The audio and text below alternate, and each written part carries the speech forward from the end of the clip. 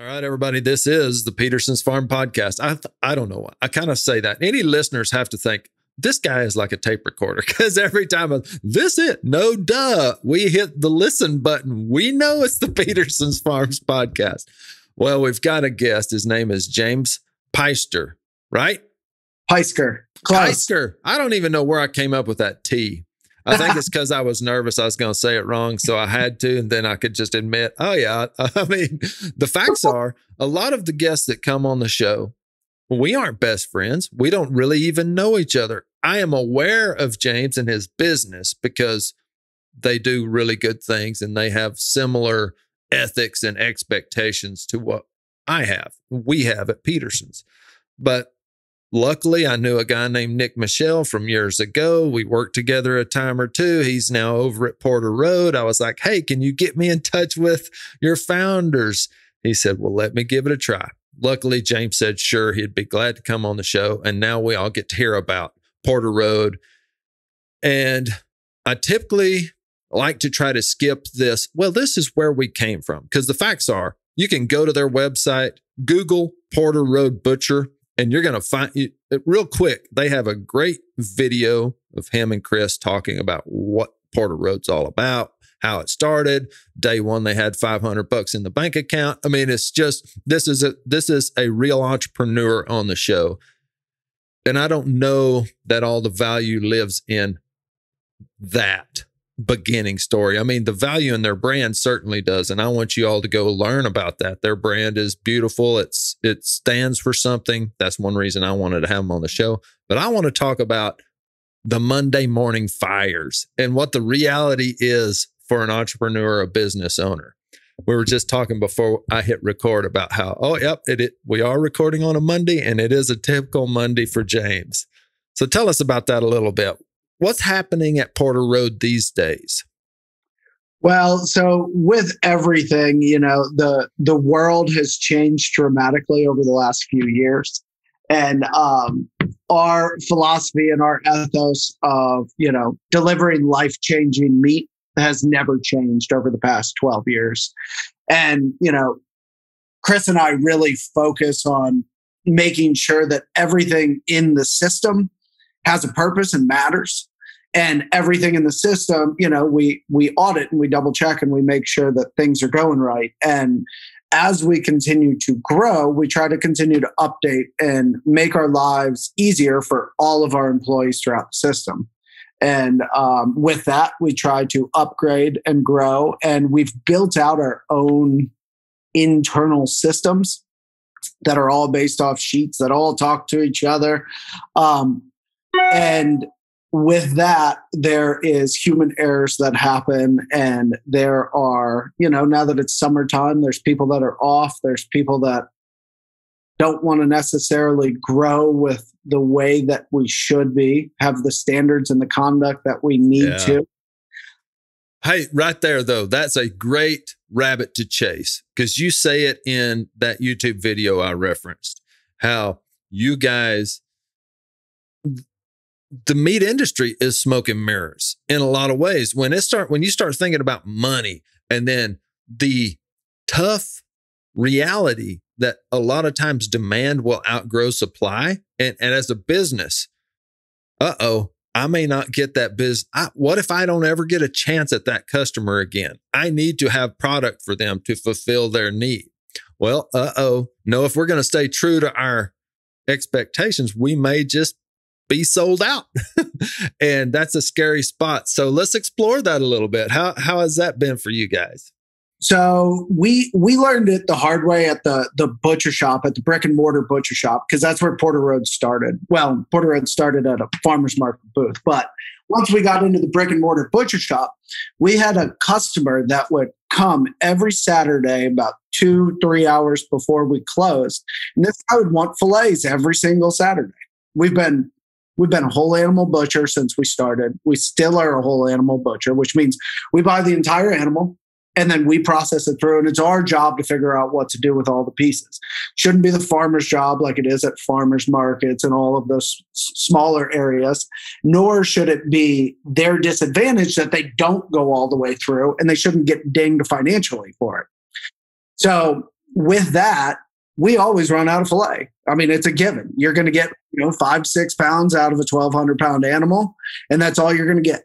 You're going to get, you know, 24 eight ounce fillets. And that's, that's your whole thing that you're getting out of there. And that's going to sell out before Saturday, right before we close. And that's by design.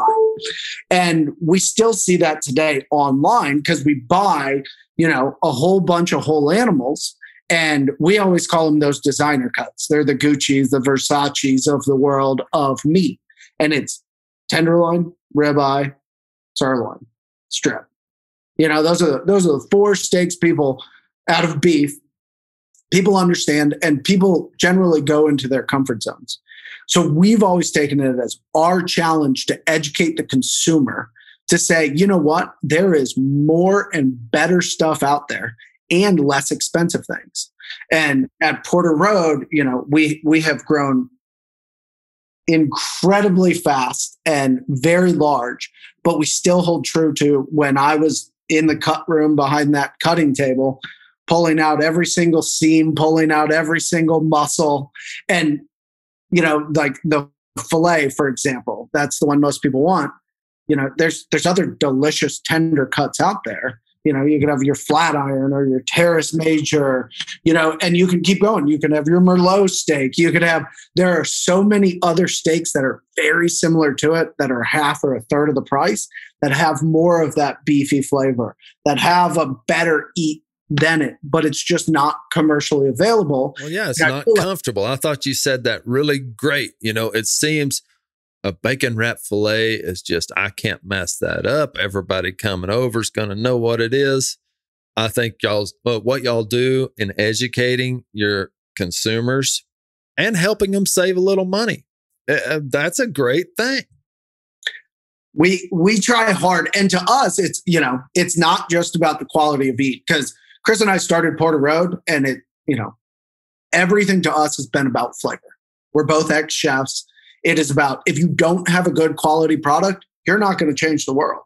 Like, I understand that an animal that eats all grass its entire life out on the field, not grass being bought to it, not peanut butter pellets with oh cotton. man see there you go you're talking about another great thing like the that smoke and mirrors thing like the difference between grass fed grass finished grass raised pasture raised how does a consumer know what any of that means? Well, and even beyond that, 80% of the grass fed we consume in America is imported from across the world. And what we believe it means might be different out there because, you know, I mean, even in the States, you can be grass fed and still feed them corn before it kernels the green chop. Yeah, you know, right. I mean, there are so many loopholes into it. So at Porter Road, flavor has always been the most important thing, and to us, uh, you know, I'm I'm a Midwesterner. I grew up in St. Louis. You know, our our beef, our animals need that grain. They need to be mellowed out. I understand you're not going to have as nutritious as a fat component, but in your grass fed beef, you're barely getting fat anyways. And the quality is much harder to control. So, like, for us, with all of the decisions that we make through Porter Road and all of the things that we do, we make pros and cons lists. We say, what is the most important thing to us? And we start with flavor. And then through that, what's really cool is on the quest for that perfect flavor, you have to cross the path of really good farming and agricultural techniques to really maximize that flavor. And then same thing, like all of our beef is dry aged, whole carcass, because to us, it's about maximizing that flavor. Where all of the industry heads that we run into, they're like, wait, whole thing out and and it's something we were we will never not do because the flavor that comes of it is so untouchable to anything else and nobody can ever convince me that a wet age product is even close to as good as a dry age yeah. product. I mean, Just, it's a great, you're almost, I don't know if you set out to do this, but you're, uh, you're, you're a very savvy marketer. You know, I mean, ultimately, we all need to be good marketers. I, I argue this all the time. I mean, if you're going to If you're going to get a job, you need to be able to market yourself. If you're going to sell a product, you need to be able to market your product. If you're going to be a brand, if you're going to change the world, you better be able to market your thought process. And what you did by dry aging, and you know nobody else is going to do that because it costs so much, they're scared people won't pay for it. You set yourself up in a category that you're the leader in. I mean, one guy said it to me once either be the only one doing it or be the best at it. you know, and the best way to be the best at it is be the only one doing it. That's great. Yeah. That. And I mean, you know, I I appreciate the kind words, but in the in the terms of marketing, and when we we think about marketing, you know, you're you're selling yourself, like you said. If you're going to be successful in a career, you're going to be successful in life. You need to be able to convince people that you can do what you do.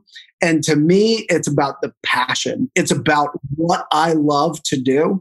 I've been in the food industry since I was 14 years old. I thought I was going to be a chef and nothing was ever going to stop me. And then I started butchering and I was like, hold up. There's a whole new world of fascinating, interesting things that really, again, back to that flavor, all of it affects it all of it has something to do with it. And it goes all the way back to the farm even before that animal is born you know? When you can get into those genetics you can get into what they're getting fed.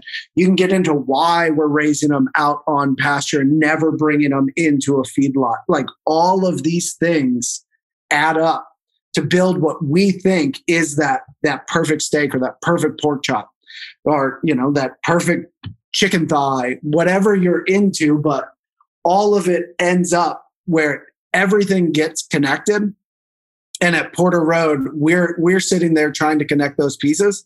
And through that process, we're saying, wait a minute, we can make our consumer healthier by giving them a healthier product. We can make the environment better off at the outset because we can use these animals as part of a whole system and not just as something that is taking. It's also giving back as well. Yeah. Well, that's to me, that is humane. That is the circle of life. That is why you eat meat.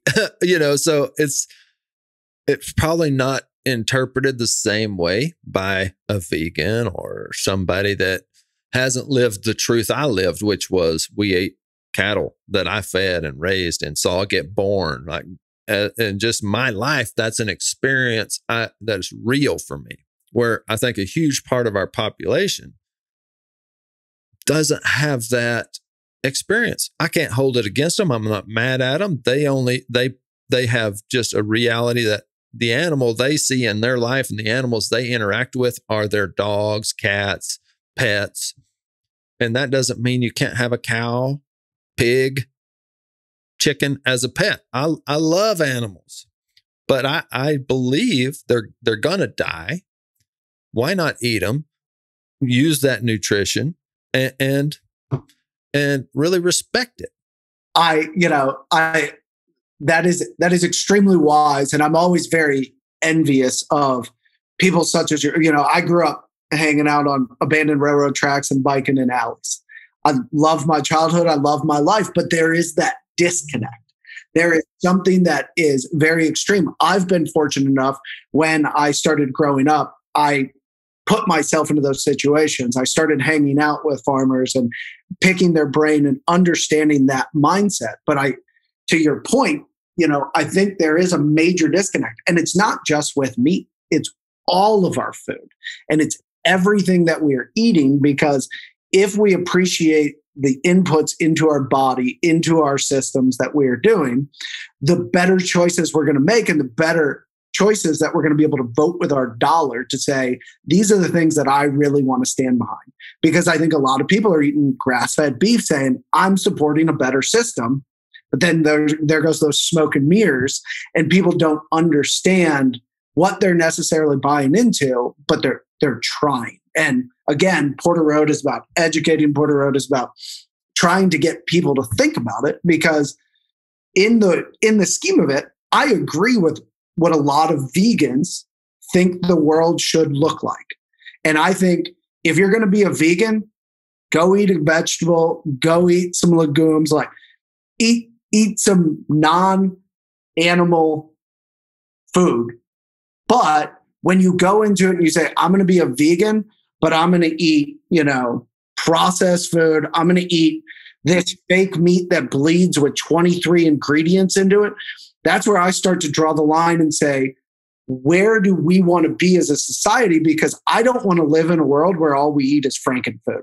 I don't want to live in a world where all of my food comes from a factory. I want to live where we have real flavor and real nutrition that comes from the ground that we are taking care of and we are taking care of those inputs and not putting them into ourselves. Because as humans, we always think we are smarter than everything else in the universe. And most of the time, it comes to bite us in the butt real soon afterward. And as we continue to, you know, push on, I, I love the conversation of people should eat less meat. I own a meat company. I'm a meat guy. But I think everybody overall generally should eat less meat.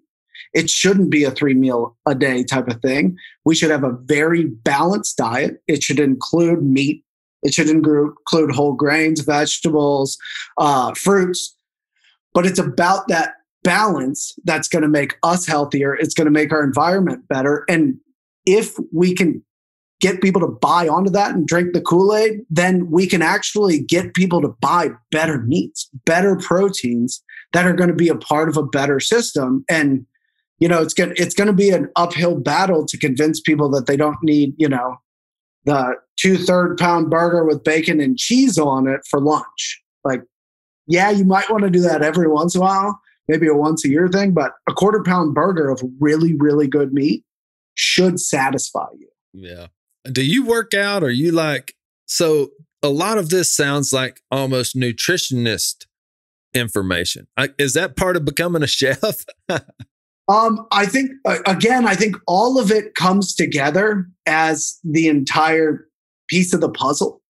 And I talk about nutrition a lot because a lot of the flavors we get have to do with those nutrients, especially those those micro and macronutrients that are involved. And the easiest way to usually get people to understand that is when you talk about tomatoes and strawberries. Those are the two that if you have a garden or you live near an Amish stand or something and you get a tomato or a strawberry in season, it is night and day different than when it is out of season from the grocery store. And there's structurally, you know, it's it's a strawberry, it's a tomato. They're the same thing, but it's how we raise it and the inputs that we do into it. And all of those flavonoids we get are from nutrients. Like all of those things are really, really good for us. And our body is telling us through the flavor, this is what you should be eating. This is how it should be.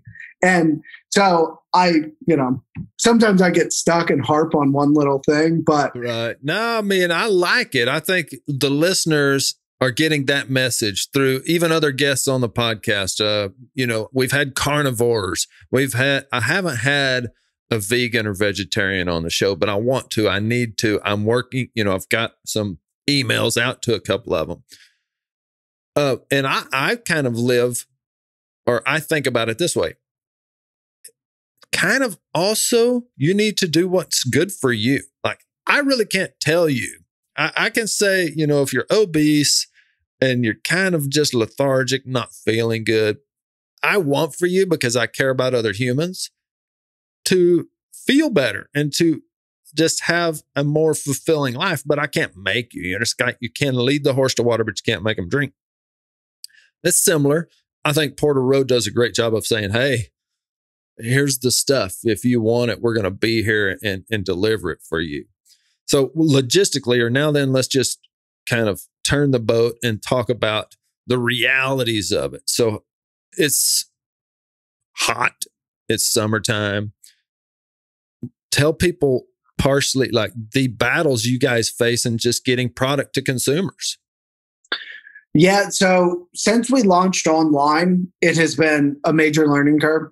Luckily, we we have brought in uh, incredible team members um, some of them, actually, a lot of our digital team never had anything to do with meat before, and they learned, but they understand the complexities of that side of the business that you know Chris and I never really thought about before we were saying, all right, we're going to launch online and we're going to deliver you a fresh steak to your front door. And again, people are like, well, that's insane. And we're like, yeah, but if we are truly going to change people's minds and change people's buying habits, we need to make it easy for them and we need to make it convenient. And if I'm thinking about what who I'm having over this weekend, I don't want to get a bunch of steaks that I need to sit there, you know, and thaw out. I want a steak that I could throw on the grill. Um, I want things that I can cook pretty soon after I get them. So we were trying to figure out how to do that. And the logistics behind any business, especially businesses as you start to grow, becomes more and more complex. And I think the most complex thing that we deal with all the time is people. The systems we set into place, you know, we use Shopify on our on our website. It talks to SkuVault, who's our inventory. And as long as the information and the data being put in by people is accurate, then it's it's pretty simple. Um, one of my favorite things is you know the the job is simple. People make it difficult.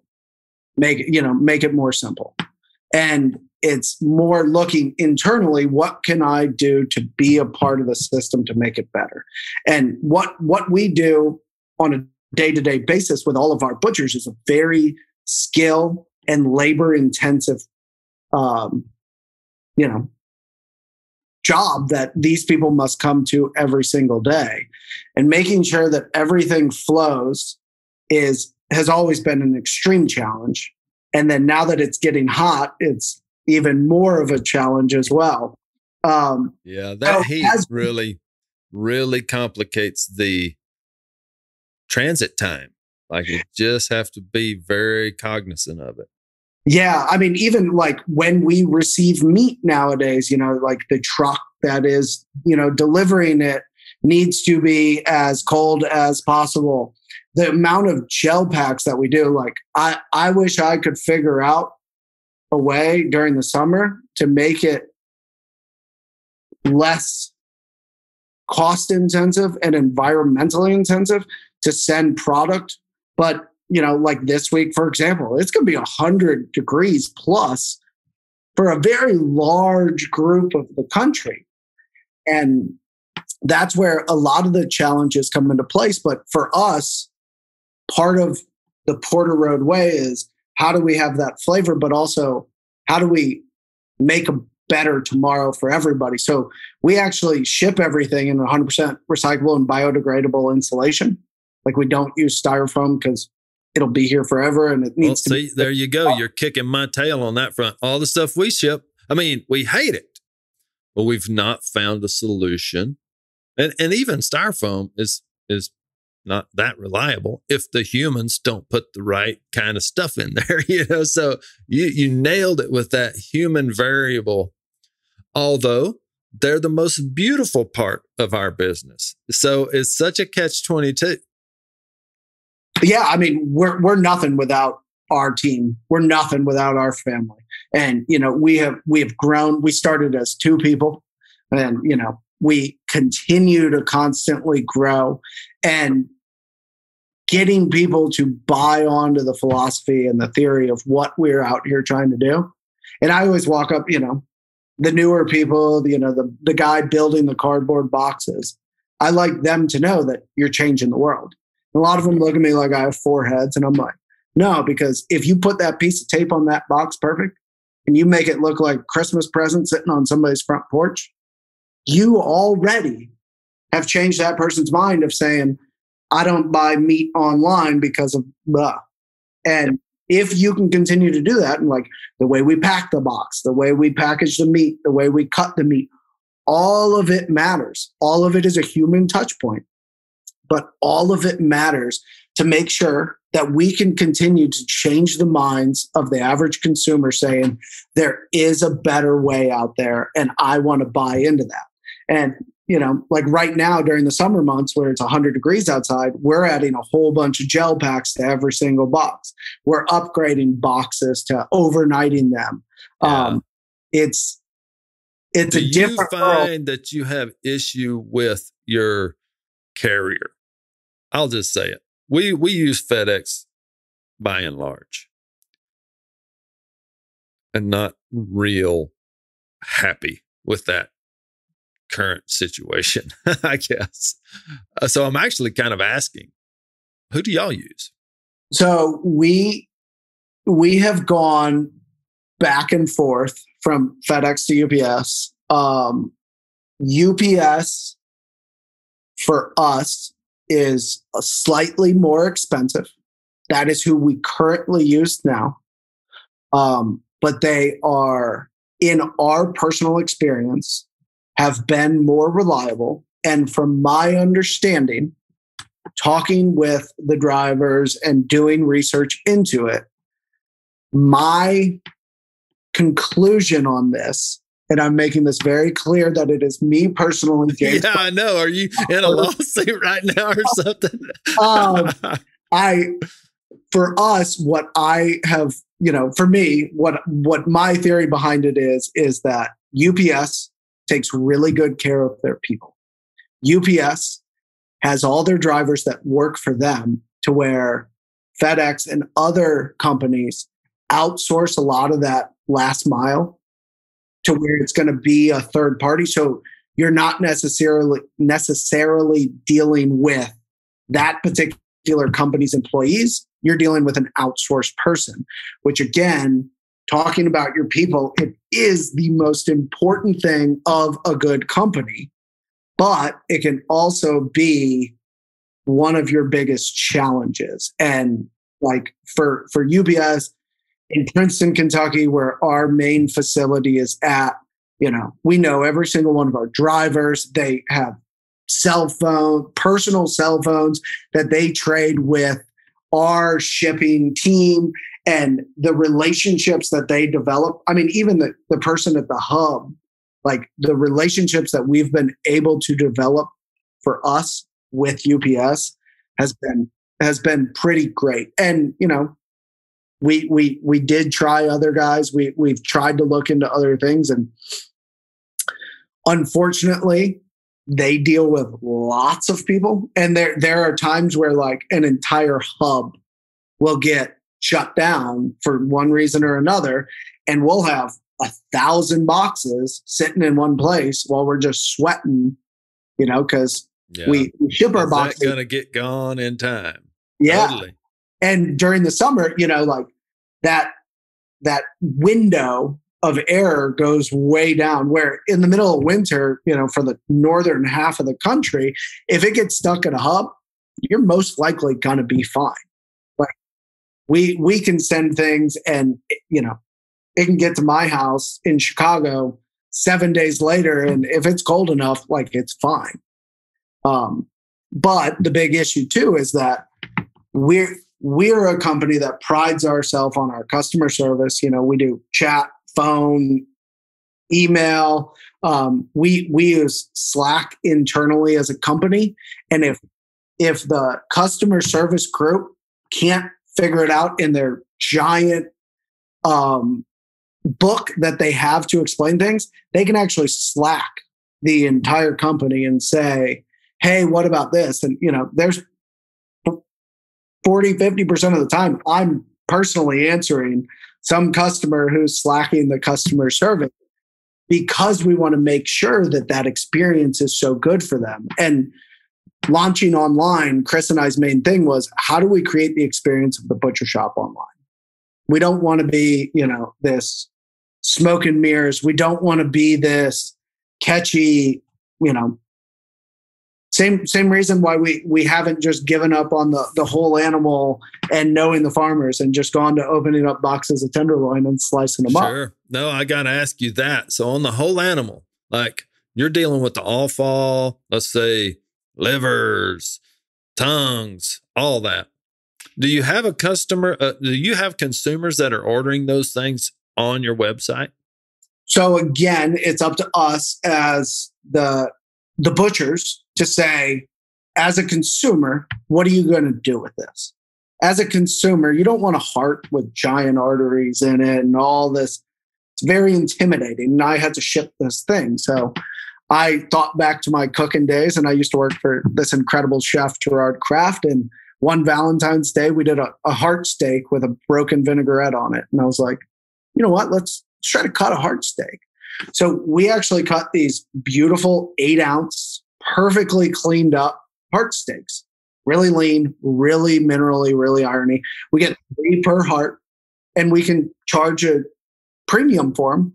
And really, at that point, you're paying for labor and you're yeah, paying for skilled butchers to go in there. Oh, and- that's the other thing. You just said skilled butchers. Like, where did you find those people? Like, uh, I think also people go learn this about James. He he wasn't.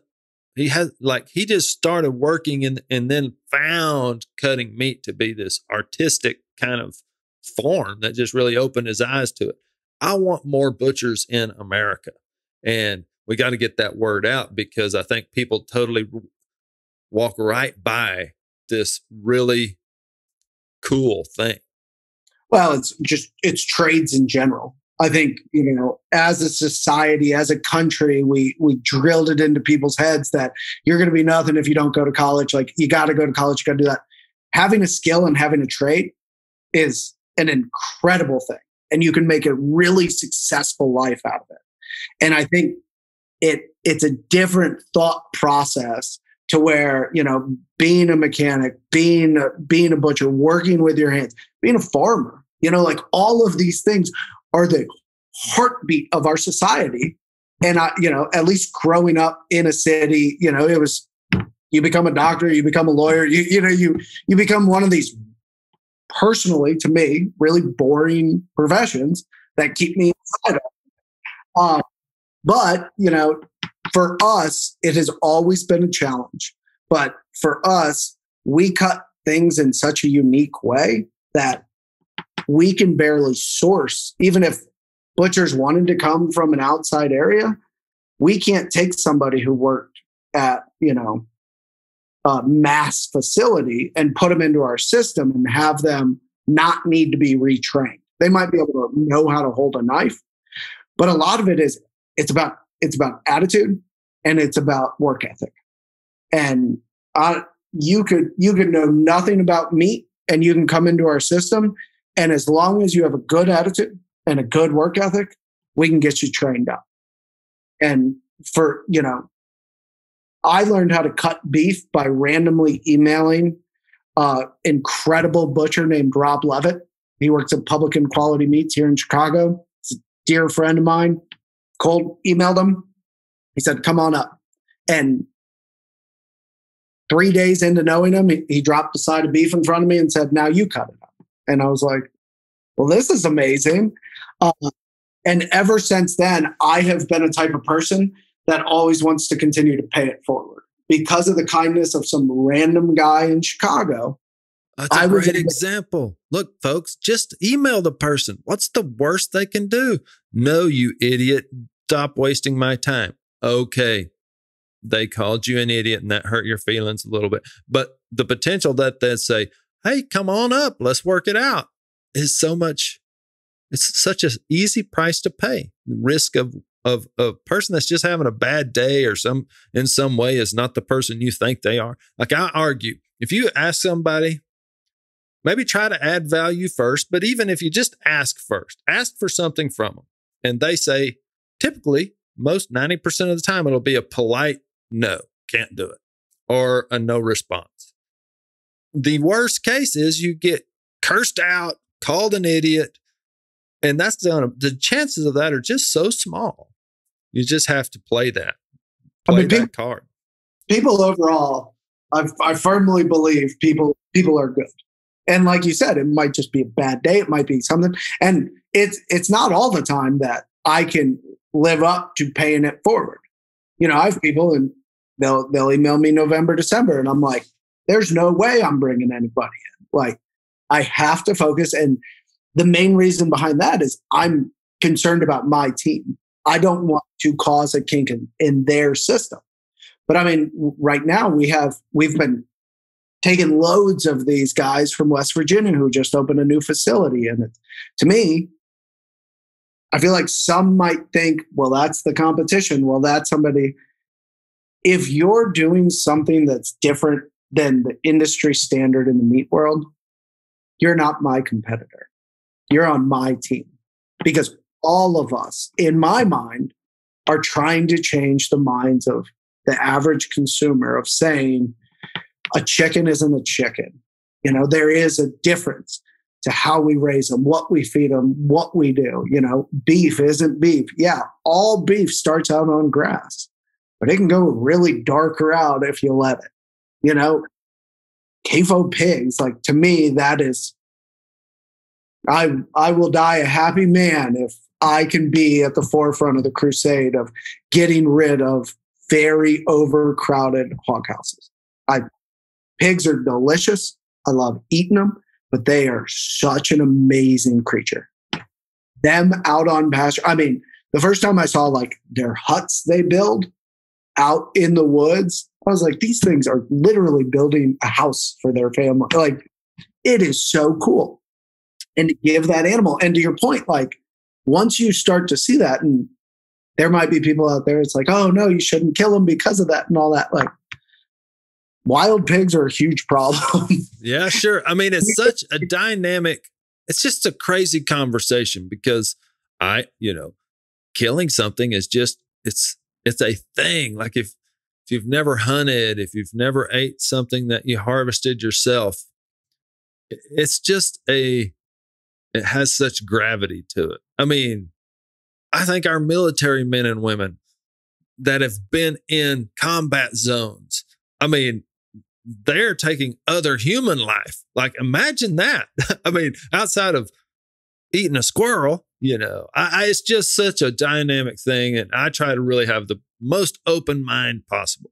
I love what you're saying as a business, Pederson's, we we we adhere to GAP one standards, which is still in barns. It's in gestation pens. There are no crates of, of any kind, but it's still not the pasture where they build their own nests and these kind of things. So there's just so many steps along the rung, and what our goal is always to try to just always lean forward, try to be moving more more animals out of the commodity cycle to this step one then I kind of pass the baton to you to be leaning forward for moving things out of the step one to the pasture.